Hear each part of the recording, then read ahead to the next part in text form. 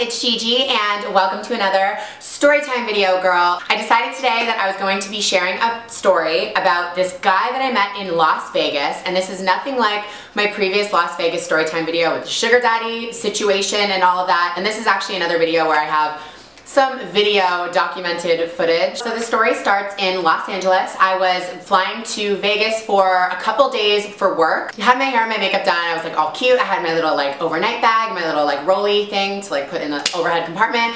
I see this really cute guy. He's kind of like this like young jock kind of looking guy. We kept like making eye contact and I might seem like I'm like really, really like forward and like insane and like I'll like just go up and talk to a guy, which I have done totally in the past if I have a reason. But if it's just like awkward exchanges, I am not gonna go up and talk to you. Like there's absolutely no way. You need to make the first move. I'm not just gonna like throw myself out there. Like, what do you think I'm gonna get rejected? Honey, so we finally board the plane and I believe we were on Southwest Airlines and I'm like giving her my boarding pass. She scans it and usually what I'm used to, they give it back to you.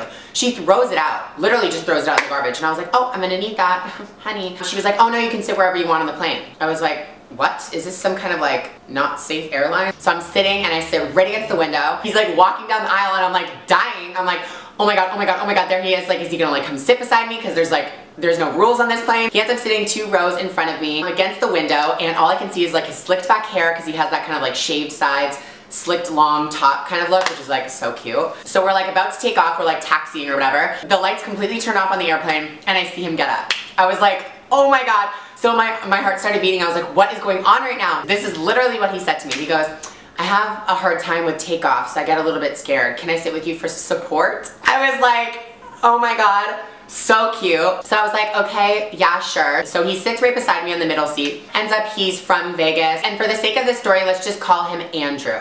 Okay? By the time I knew it, we were like in Vegas, the hour plane ride flew by and we were landing and he goes, oh, okay, well, what are you doing now? I was like, well, it's like 11 o'clock at night. Probably just gonna go to bed because I have, you know, an early morning on set. And he was like, oh no, don't do that. Let's like chill. I was like, uh, I'm only in Vegas for a couple nights, so like, okay. And he's like, I'm gonna go home and change and drop my stuff off. So I go to the Cosmopolitan and here's another crazy part of this story. They're like, okay, the room is paid for, but you need to give us your credit card just for incidentals in case you break anything. I give it to him and he gives me this weird look and he's like, oh, Gigi, your, your card actually didn't go through. I was like, are you kidding me? Like what? I know I have money in there. You know what? Try it again. If it goes to the second time declined, now we're gonna have issues and I'm gonna call my bank and freak out. And then he tells me that you have to wait five minutes to try it again because the system, whatever. So we're just talking for five minutes and he's like, have you stayed here before? I was like, yes, I love it here. He goes, well, let me check while we wait um, if you can get a free upgrade for your room. Literally 30 seconds goes by. He goes, oh yeah, you're on the 60th floor now. You got the free upgrade to our penthouse suites. I was like, are you kidding me? Free upgraded to the 60th floor? How does that exist? I thought I was literally on Punk'd or something. He tries my card again, it goes through. It was literally like fate for me to get this room. So we go up to the 60th floor and there's like a double door. This is one of the bedrooms. Closets are huge. The bathroom is sick. I literally can't. There's like a little makeup place. Ugh. Cosmopolitan really is my favorite. Oh, break the place. And then we have the bar the living room, the dining room. Like wind chimes. So lo and behold, I get a text from Andrew. I was like about to say his real name. And he's like, hey, what are you doing? Have you checked in yet? And I was like, yes, come over. And I was like trying to keep it super low key just so he like thought that I like lived like that all the time, which I like totally don't. So I meet him downstairs at the bar and we're like talking, we have a few drinks, and we were like vibing and like just like laughing and having a good time. And I was just like, I seriously did not think that I was gonna meet you and like be here. By this time it was like 1 a.m. and like the casino was right there. Now is like when it starts picking up in Vegas so there's tons of people. I need to like get out of here or else you know it's gonna be like 5 a.m. by the time I know it. He's like oh that's no problem but like I'd love to walk you to your room. He was totally understanding. He's like let's do something tomorrow 100%. You're only here for two more days. I want to show you more around Vegas. And I was like, girl, I've been around Vegas, but okay. So we go to my room and he's like dying over it. He was like, what the fuck? Like, what are you doing out here? Are you literally seeing the president of the United States? I was like, no, they freely upgraded my room. I was not about to keep that charade up. So whatever, he leaves, we like hug goodbye. I literally had to wake up at like 5 a.m., had a full day on set. I think I was there until like 8 p.m. And I was actually supposed to have two days on set, but I got all my things done on the first day. So I had another free day the next day. So I get home from set, I like shower, I change, I'm like fully glammed out again, ready to go out.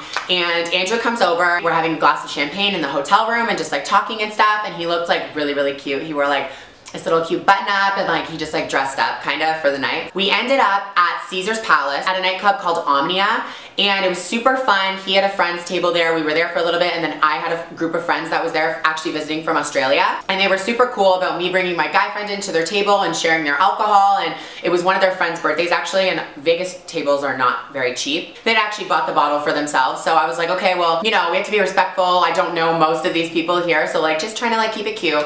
I look over Andrew has two other bottles above his head doing shots, pouring it in people's mouths. I look over and my two Australian friends are like looking at me like, who is this guy? Why did you bring him? Like he's like such an idiot. I was like, oh my God. So I go over to Andrew and I was like, dude, you need to put these down. It's like too much. You're doing a lot. Like, can we go back to your friend's table? He's like, no, they don't have alcohol left or something. So that was like our little argument and it was kind of heated and literally all over me having to just say something because my friends were giving dirty looks, like I couldn't not say anything. You know what I mean? Like if I didn't say anything, I would feel bad. I saw him talking to this group of girls and he was just talking to them. It wasn't like he was like making out with them or anything, but I was feeling like a little bit needy. So I got like a little bit jealous and I basically just told him that I was leaving. I was like, well, if you're gonna do your own thing, I'm gonna do my own thing, I'm gonna leave. I wanted like a little bit of attention from him, you know what I mean? Like, shoot me if I wanna be talked to by the guy that I came with. Like, oh my God, is that such a crazy fucking concept? He ends up like chasing me out of the club and I'm just like walking. I was like, listen, go have a good time. I've been up since 5 a.m. And I was pretty much just like writing this guy off in my head. I was like, he's a douchebag. We're literally like on the strip. I'm walking back to the Cosmo. He ends up apologizing to me enough to the point where I'm like,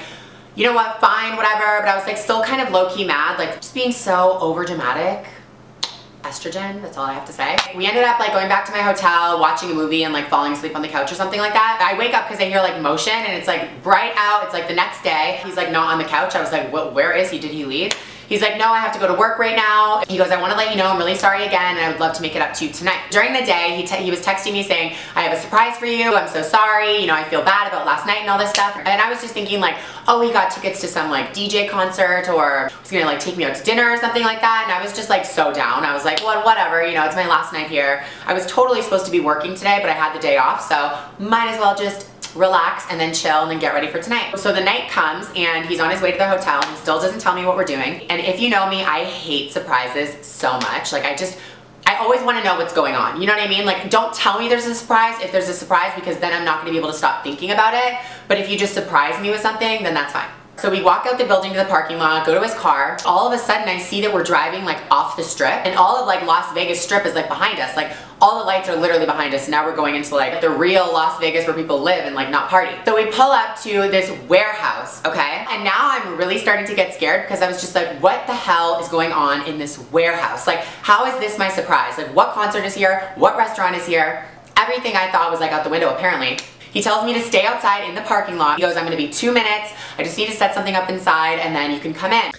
So I'm waiting outside right now at this random place I was taken to and I have a surprise waiting for me inside. Don't know what's going down. Kind of nervous about it.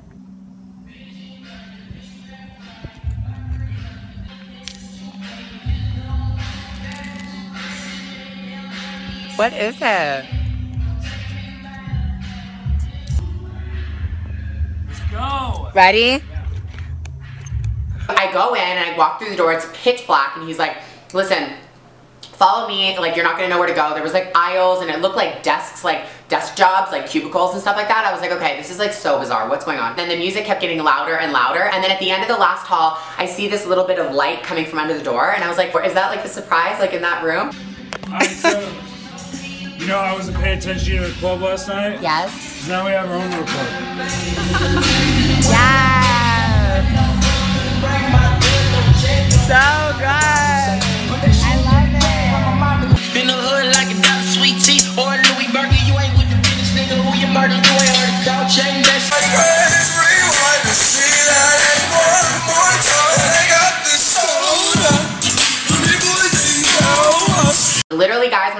When I say that it was a 20 foot high LED screen, like literally as if I was at like the Ariana Grande concert. He goes, we could put any graphics on it, we could put any music we want on, we can dance, just me and you. I was not expecting him to do something so like out of the ordinary, out of the box. Like he literally like made like this was like one of the best apologies I've ever gotten. So yeah, that was his idea of an apology. I just thought that that was so, so nice. Don't get me wrong, this is not the sweetest thing a guy has ever done to me, but it's definitely like one of the sweetest things like a new person in my life has ever done for me. He was pretty much still like a stranger to me and the fact that he would do that for me was like just really nice, I thought. And it like really did like sweep me off my feet. I was like, are you kidding me? Like all of this for like little old me and like I was overreacting at that and you put all this effort into it. And he told me later in the night that he didn't even have to go to work that day. And he showed me afterwards, he turned like all the lights on. He showed me how to take like the whole wall down. It was so much work. Like it was literally like hanging from two cranes. There was probably like a hundred little screens that he put together and like stacked and shit. It was like